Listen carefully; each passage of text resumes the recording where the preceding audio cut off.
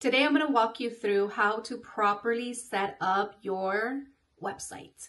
I'm going to be talking about SEO, alt text, and how to include keywords using ChatGPT to help us out a little bit because if you're not new here, okay, you already know this. ChatGPT is my bestie in business and we do everything together and it knows so much about me by now, but it, it has seriously been like the best personal assistant that I don't even have to pay anything. So use ChatGPT, I use the free version, just letting you know. And it's helped me get this far in my business, okay? It also helps me run ads, but that's a whole video in itself. So in this video, we're just talking about website, okay? Because that's still the number one most important thing. Even before you start your Google business page, get your website going.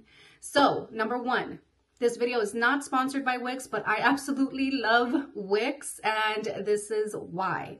I have tried out other website software providers and none of it has gotten me as far as Wix has. And what I mean by that is that I've been able to now understand what alt text is, what SEO, like putting in my keywords properly and how it all has to match, like it all has to make sense.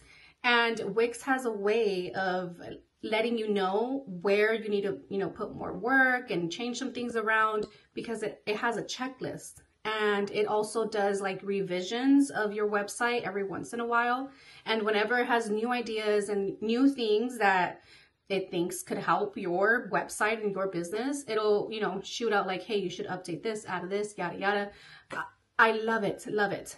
Number one tip is making sure that your titles on your pages have to do with the service that you are offering, okay?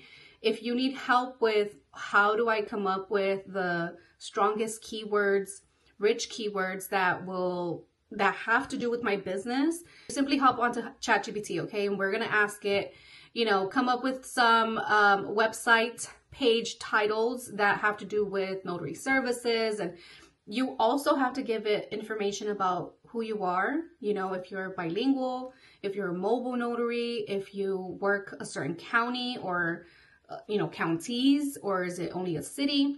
Be as detailed as you can. Also put your hours of operation.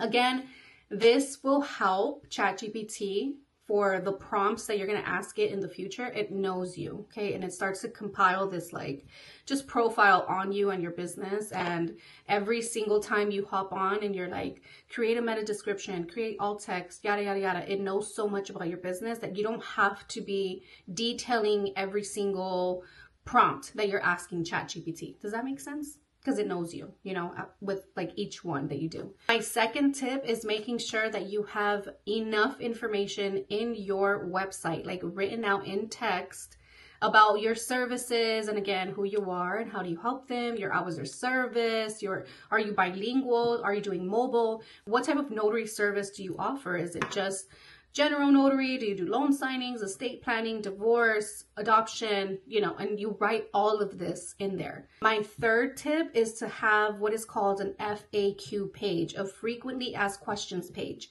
Again, hop into ChatGPT and ask it to come up with maybe even just five or 10 commonly asked questions in you know notary industry notary services or if you're getting into like apostille services just ask ChatGPT, come up with 10 frequently asked questions that a customer may have on notary services or apostille services or whatever you're doing. It'll kick back whatever, right? You're to edit, make sure it sounds like you, and then I'm, I, going to give you everything. I also asked ChatGPT to translate everything in Spanish for me. So then, I, because I have Spanish clients and I'm really just trying to help out my Latino community. So I want to make sure that the content, when they search for me on their phone, I'm going to be coming up. So I have it in English and in Spanish, my frequently asked questions page. All this information helps Google to know what you're about and then it'll do something called indexing your website. It'll file your website accordingly. Like, okay, this is a notary service in this county. They are bilingual, yada, yada. So when someone hops on and they're like Spanish speaking notary, you're going to be someone that pops up. Now, the next thing is making sure that your images, the file name has to do with your business and your service. Do this for every single file image. You can, at the end of it, if you want to use like the same keywords and stuff, you, at the end of the file name, just put one, two, three, four, and so on and so forth. I have maybe like two or three pictures on my actual website and that's including my logos and in each of the logo files i have you know adriana torres apostille notary services los angeles county right um, do the same for yours. Do it for your county, your cities. Again, alt text, let me explain it to you. Google cannot actually see, not just Google, but like Yahoo, Bing, all these search engines. They don't actually see your website. They read your website. So when your website, before it can get indexed and before it can get, you know, filed correctly, in their endless internet files, um, you have to make sure that you are giving it as much information as possible about what you do, who you are, and who do you service. Okay, so in the alt text, it has to be able to read like your service. Hopefully that simplified alt text because it's it's honestly not like that deep, really. Then the next thing you want to do is make sure that you are putting in your hours of service, you're putting in your email address, your phone number, can they call you, can they text you? The next thing I have on there, which I didn't have to do anything extra, it has a little like chat pop-up that comes up on my website and people can instantly just send me a message like I need a, a notary service at 3 p.m. tomorrow or I need apostille for this this and that document, can you get back to me? And again, Nothing extra that I had to do. It's just something super awesome that Wix did. So thank you, Wix, for that. Again, not sponsored, but if you want to talk more, we can talk more. So now the next thing is connecting it to your Google business page. But like I said, it is so deep. Like we really have to get into detail with it.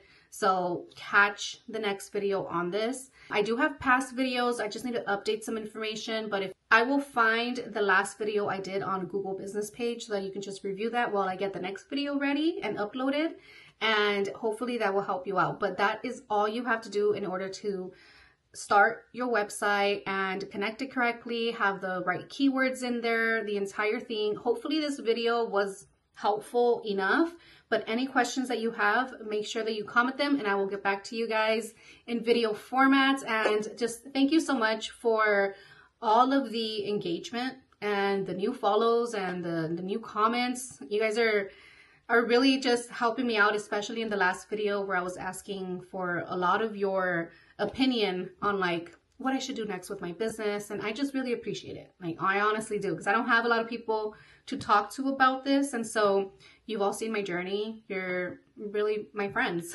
So I do appreciate it. Thank you so much. I'll talk to you guys in the next one.